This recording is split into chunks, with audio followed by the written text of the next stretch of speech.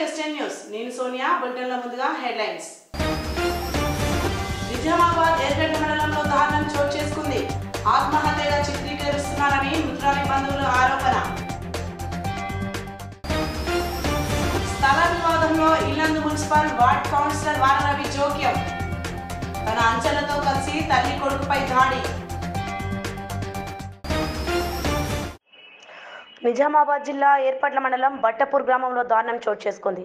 అత్తింటి వారి అదనపు కట్నం వేధింపులకు వివాహిత మహిళను హత్య చేసి ఆత్మహత్యగా చిత్రీకరిస్తున్నారని మృతురాలి బంధువులు ఆరోపిస్తున్నారు.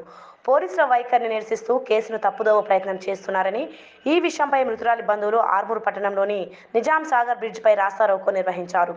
నిజామాబాద్ జిల్లా ఏర్పట్ల మండలం బట్టపూర్ గ్రామానికి చెందిన అజీజ్తో నిర్మల్ జిల్లా మెటాపూర్ గ్రామానికి చెందిన సమరీష్తో మూడు సంవత్సరాల క్రితం వివాహం జరిగింది. వివాహ సందర్భంగా లాంఛనంగా కట్న కానుకలతో వివాహం జరిపించారు. ఇటీవల కొంతకాలంగా అదనంగా రెండు లక్షలు తేవాలంటూ భర్త వేధింపులకు పాల్పడ్డారని బంధువులు ఆరోపించారు. శుక్రవారం బాత్రూంలో సమరీన్ ఆత్మహత్యకు పాల్పడిందని మృతురాలు బంధువులకు సమాచారం అందజేశారు. అనుమానం వచ్చిన బంధువులు మృతురాల్ని పరిశీలించగా బలమైన గాయాలున్నట్లు గుర్తించారు. పోలీసుల దృష్టికి తీసుకెళ్ళగా తాత్పారం చేస్తున్నారని బంధువులు ఆరోపిస్తున్నారు. శుక్రవారం మృతి చెందితే శనివారం సాయంత్రం వరకు పోస్టుమార్టం సైతం జరగడం లేదంటూ బంధువులు ఆగ్రహం వ్యక్తం చేశారు. పోలీసుల వైఖరిని నిరసిస్తూ పోస్టుమార్టం చేపట్టడంలో జాప్యం చేస్తున్నారని మృతురాలి బంధువులు ఆర్మూర్ పట్టణంలోని నిజాం సాగర్ కెనాల్ బ్రిడ్జిపై రాస్తారోకో నిర్వహించారు. ఆర్మూర్ బోధన్ వైపు వెళ్ళే వాహనాలు స్తంభించిపోయాయి. మృతురాలి ఆత్మహత్య విషయమై పోలీసులు వివరణ కోరగా పోస్టుమార్టం నివేదిక ఆధారంగా తెలుస్తుందన్నారు. మృతుల బంధువులు నమ్లింది ముమ్మాటికి హత్యేనని ఆరోపిస్తున్నారు. వరకట్ట వేధింపులండి ఇది ఎక్కడ చూడండి కాదు కొత్తది కాదు. ప్రతి ఇంట్లో జరిగేదే కానీ ఇంట్లో విచిత్రంగా జరిగింది ఏంటంటే మా చెల్లె చనిపోకున్నా సూసైడ్ అని చెప్పి తనని హతమార్చి ఒక సూసైడ్ సీన్ క్రియేట్ చేసి తనని అన్యాయంగా నిన్న తీసుకొచ్చిన బాడీ నిన్న సాయంత్రం కాల్ చేసి మీ కూతురు చచ్చిపోయింది.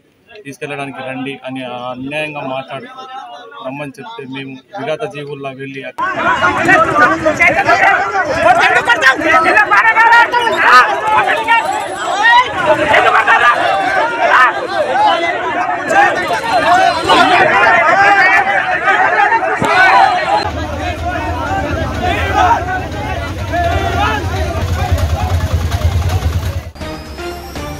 భద్రాద్రి కొత్తగూడెం జిల్లా ఇల్లందు మున్సిపల్ ఒకటవ వార్డ్ కౌన్సిలర్ స్థానికులపై వీరంగం చేశారు.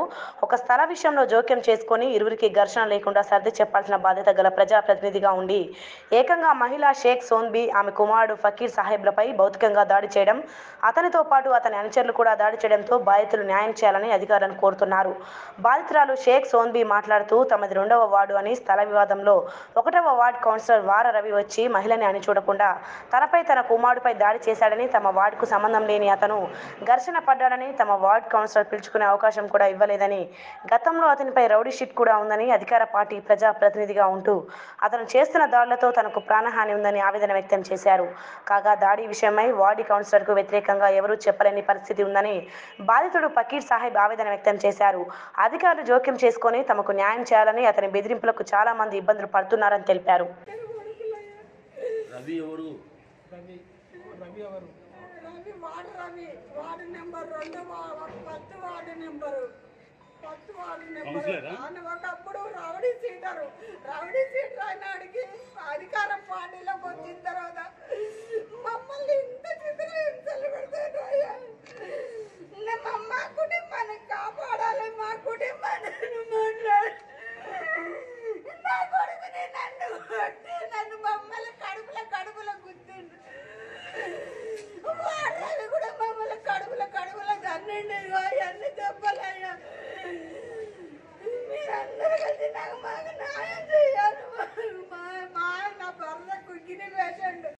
సో ఇవి ఇప్పటివరకున్న updates for more updates keep watching ఎస్టే news మన కోసం మన ఛానల్